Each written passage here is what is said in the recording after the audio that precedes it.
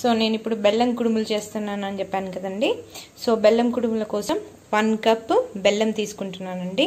So one cup బెల్లంని ఇలా ఒక బౌల్లో తీసేసుకొని దీనికి కొంచెం వాటర్ యాడ్ చేద్దామండి. ఒక వన్ అండ్ హాఫ్ కప్ అలా వాటర్ యాడ్ చేద్దాము.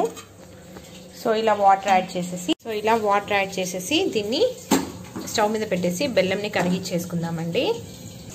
సో ఇప్పుడు నేను వన్ కప్ బెల్లం తీసుకున్నాను కదా వన్ కప్కి టూ కప్స్ బియ్యం పిండిని తీసుకుంటున్నానండి. ఇది మామూలు పొడి పిండే. సో మీ దగ్గర తడిపిండి అవైలబుల్గా ఉంటే తడిపిండి కూడా తీసుకోవచ్చు. యాక్చువల్గా తడిపిండితో బాగా వస్తాయి. నేను ప్రజెంట్ అయితే పొడి పిండే తీసుకున్నానండి. టూ కప్స్ తీసుకుంటున్నాను. సో ఇక్కడ వాటర్ అనేది బాయిల్ అయిపోయాయి. బెల్లం వేసి వేసుకున్న వాటర్ అనేది బాయిల్ అయిపోయిందండి. సో ఇది ఆఫ్ చేసేసుకోవాలి.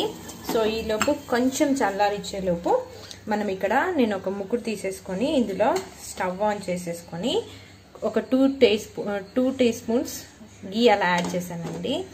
సో దీనికి ఇది గీ వేడయ్యాక మనం ఇందులో డ్రై ఫ్రూట్స్ వేయించేసుకుందామండి. దీంట్లో నేను కట్ చేసి పెట్టుకున్న బాదాము జీడిపప్పు వేసేసుకొని వేయించేసుకుంటున్నానండి.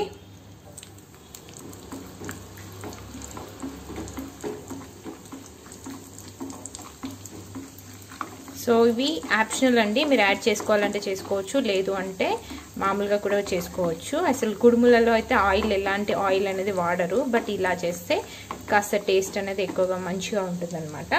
సో ఇందులో నేను ఒక కొన్ని కిష్మిషెస్ కూడా యాడ్ చేస్తున్నాను.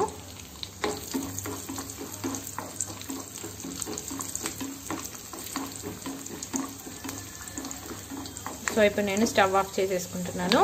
సో స్టవ్ ఆఫ్ చేసుకున్న తర్వాత మనం ఇప్పటిదాకా చేసి పెట్టుకున్నాం కదా బెల్లంది వాటర్ ఇది పాకం ఏం రాలేదండి. మామూలుగా బాయిల్ అయిపోయింది. సో దీన్ని ఇప్పుడు వడపోసేసుకొని మనము ప్రిపేర్ చేసుకున్న మనము రెడీగా ఉంచేసుకున్నటువంటి పిండికి యాడ్ చేసేసుకుందాము. సో నేను ఇప్పుడు మనము వేడి చేసి పెట్టుకున్న బెల్లం వాటర్ని ఇందులో వేసేసుకుంటున్నానండి. టోటల్గా వేసుకోవద్దు. సో పిండి కన్సిస్టెన్సీ కలుపుతూ చూసేసుకోండి.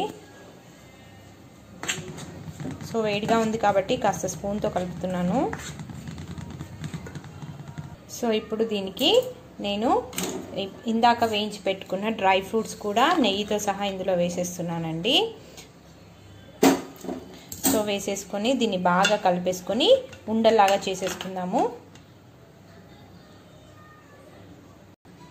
సో పిండిని ఈ కన్సిస్టెన్సీలో మనము కలిపేసుకోవాలండి. సో ఇది కొంచెం వేడిగా ఉన్నప్పుడే మనము వీటిని కుడుములు ఒత్తుకుంటాం కదా అలా ఒత్తేసుకోవాలండి.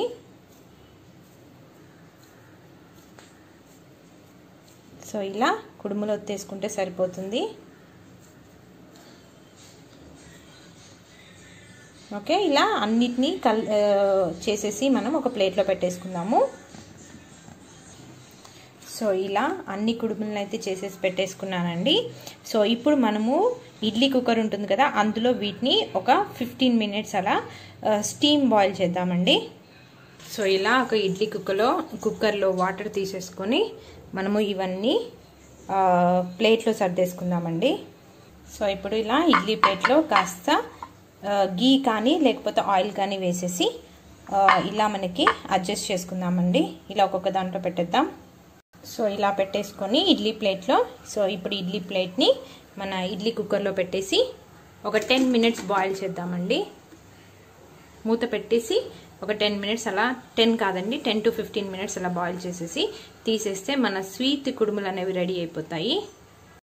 సో ఒక ఫిఫ్టీన్ మినిట్స్ బాయిల్ అయిపోయిందండి. సో ఫిఫ్టీన్ మినిట్స్ తర్వాత బాయిల్ అయిపోయిన తర్వాత సో ఇవి మనం ప్లేట్లోకి సర్వ్ చేసుకుందాం. సో అంతే అండి మన స్వీట్ కుడుములు అనేవి రెడీ అయిపోయినాయి చాలా టేస్ట్గా ఉంటాయి. సో చాలా ఈజీగా చేసుకోవచ్చు మీకు ఎప్పుడైనా స్వీట్ తినాలి అనిపిస్తే సో మీరు ట్రై చేయండి. సో మీకు కనుక ఈ వీడియో నచ్చినట్లయితే దయచేసి లైక్ చేయండి షేర్ చేయండి. అండ్ మరికొన్ని వీడియోల కోసం please subscribe to my channel మన తెలుగింటి అమ్మాయి శిరీష.